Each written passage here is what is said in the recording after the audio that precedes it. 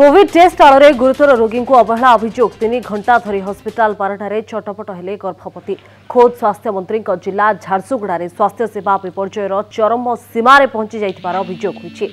Covid test ହୋଇ ନପାରିବାରୁ ଜଣେ ଗର୍ଭବତୀ ଅସୁବିଧାର ସମ୍ମୁଖୀନ ହୋଇଥିବା ଜଣାପଡ଼ିଛି ଖୋଦ୍ ସ୍ୱାସ୍ଥ୍ୟମନ୍ତ୍ରୀଙ୍କ ଜିଲ୍ଲାରେ ଏଭଳି ଘଟଣା ଲଜ୍ଜାଜନକ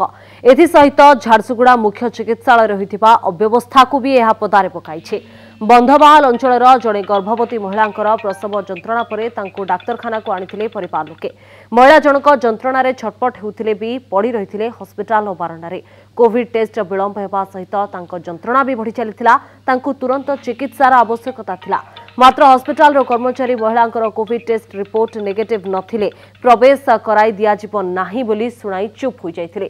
প্রায় তিন ঘণ্টা ধরে গর্ভবতী মহিলা জনক এমিতি বারণ্ডারে পড়ে রয়েছে এই ঘটনাকে নিয়ে এবে বিভিন্ন মহলরে নিন্দা করা যাইছে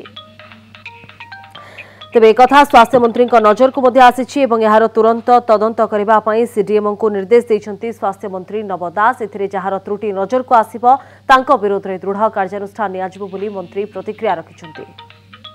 এই কথা এই কথা মোর দৃষ্টিকু আসিছি মু তুরন্ত নির্দেশ দিয়েছি সিডিএম কু এয়ার ইনকোয়ারি করা যাও এবং